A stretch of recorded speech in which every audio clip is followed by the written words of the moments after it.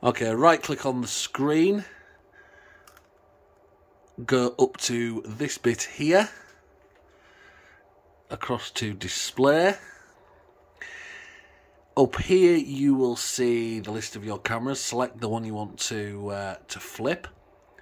Okay, then down to image settings and it's mirror mode. Um, so if you look, yours is probably off at the moment, but basically you need to do the reverse of whatever it's set to. So if I do mine and go center and apply, you'll see it flips, um, which is exactly what we need yours to do.